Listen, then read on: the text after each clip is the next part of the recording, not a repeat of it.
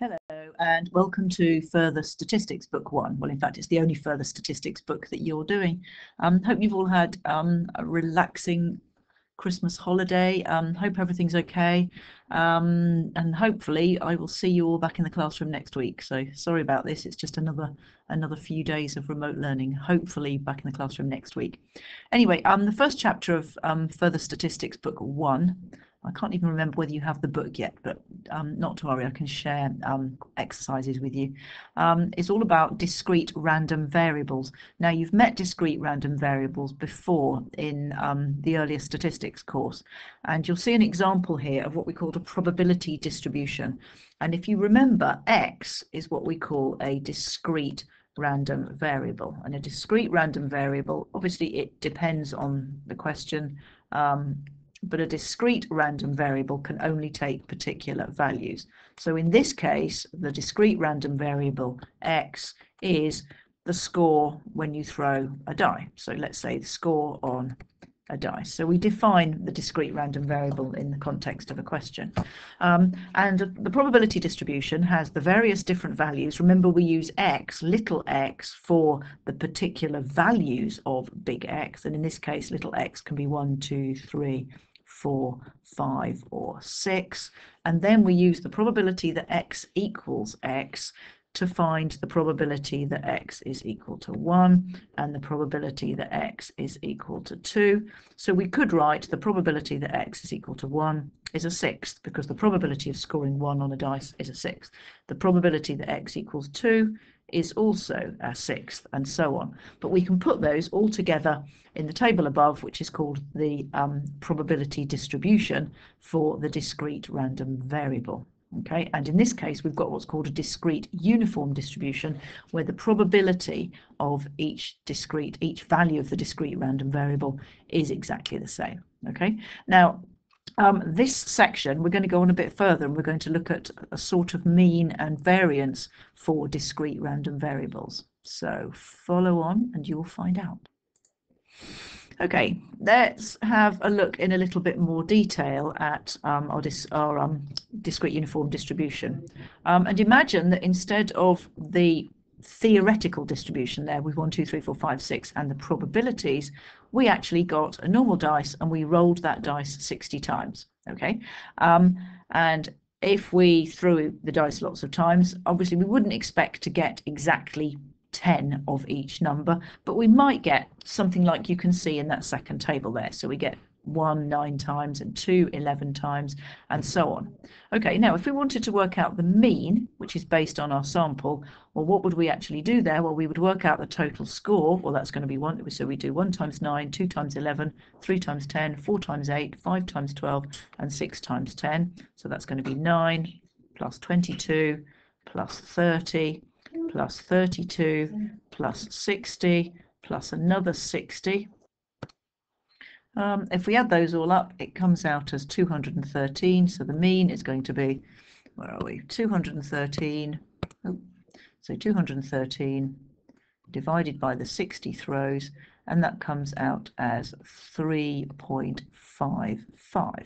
So think about that, what, what that actually means. That would be your average score. So that would be your calculated average score, if you like. Let's have a think about what that might be um, if we just thought more theoretically. Okay, so if we look at the original table and if we look at the probabilities, we would expect, and if, and in fact you might be able to think about how to do this, we if we do 1 times one sixth, so that's going to be a sixth, plus 2 times one sixth, well that's 2 sixths, plus 3 times 1 6. I'm basically I'm multiplying these together. 3 times a 6, 4 times a 6, 5 times a 6, 6 times. So 1 6 plus 2 6 plus 3 6 plus 4 sixths plus 5 sixths plus 6 sixths.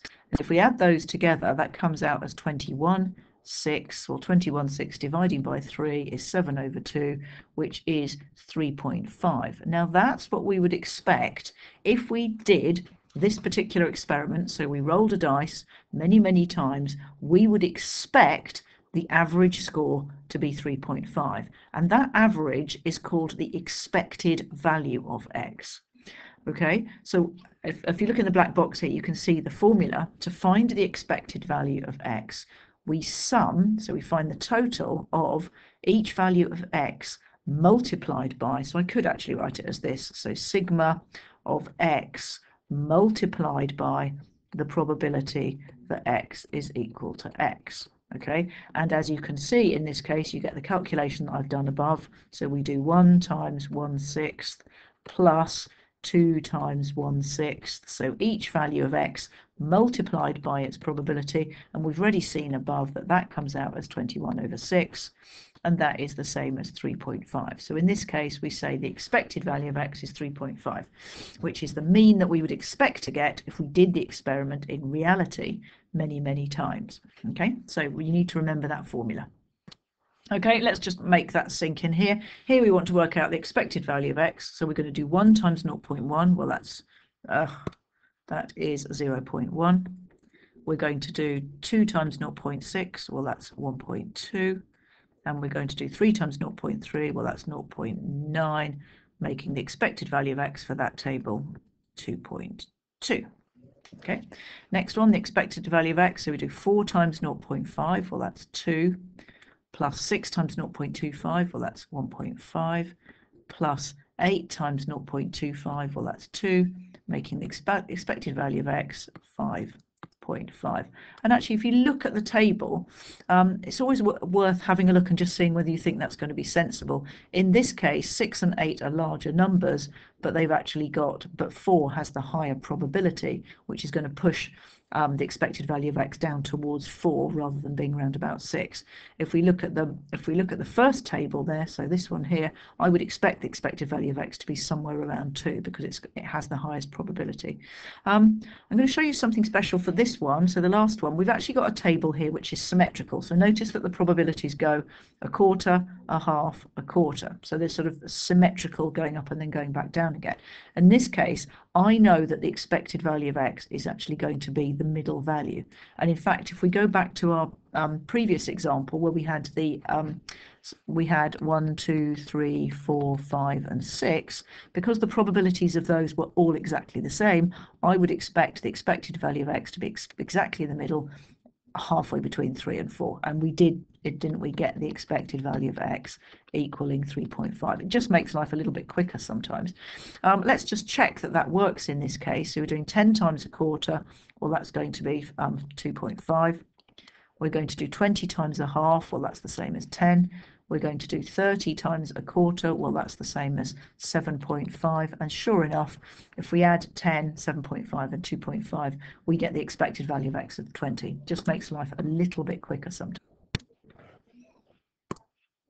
Okay, slightly more difficult example and a very common type of question this. They tell you that the expected value of x is 3 and they ask you to find the values of p and q. Um, well, in this case, we know that the expected value of x is found by multiplying. So the expected value of x, so we'll do 1 times 0.1, well, that's 0.1, plus 2 times p, well, that's just 2p, plus 3 times 0.3, well, that's 0.9, plus 4 times q, which is just 4q, plus 5 times 0.2, which is 1, but they tell us that the expected value of x is equal to 3. So now simplifying the left-hand side, we've now got 2p, oh, I forgot something, I've just realized, 2p plus 4q plus 1, 2 is equal to 3, which means that 2p plus 4q must equal 1. And you might say, oh, how do we find p and q? Well, what I forgot to say is, and it's you know this already from a probability distribution, what the, what's the total of all the probabilities got to be? Well, we know that the probabilities must add up to 1, so that we know that 0.1 plus p plus 0.3 plus q plus 0.2 must equal 1. All the probabilities will add up to 1. So we now know that p plus q plus um, 0.6 will equal 0.1, which means that P plus Q, so P plus Q must equal 0.4, which means that Q is equal to 0.4 minus P.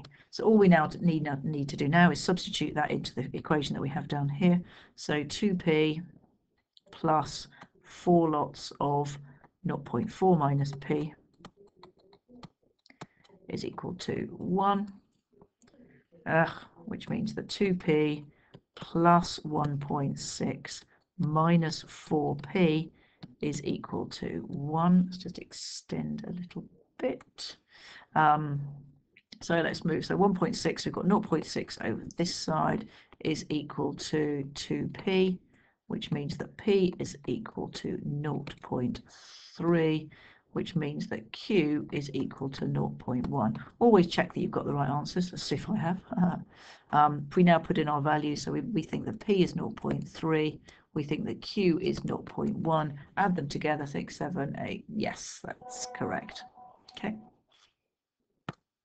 Okay, um, last example, um, similar sort of idea. They give us the expected value of x. We want the value of a and b. So using the table, we can see that 1a, well, that's just a so a plus 2a plus 3a plus 4b plus 5b plus 1.8 must equal the 4.2 which they give us for the expected value of x. So that's 6a plus 9b um, will equal 2.4.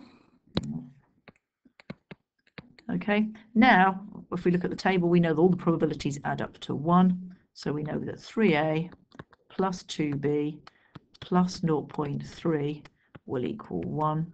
So 3a plus 2b is equal to 0.7. Okay, from that, um, 3a is going to be 0.7 minus 2b which means that if we substitute it in here, well, 6a is going to be 1.4 minus 4b plus the 9b is equal to 2.4. So 1.4 plus 5b is equal to 2.4. So 5b is equal to 1. So b is 0.2, which means that um, 3a is going to be 0.7 take away 2b, well that's 0.4, well that comes out as 0.3, which means that a is equal to 0.1. Again, just check, we've got 0.1, 0.1, 0.1, 0.2, 0.2. Okay, so 4, 5, 6, 7, 8, 9, 10. Yep, that's correct. So b is 0.2, a is 0.1.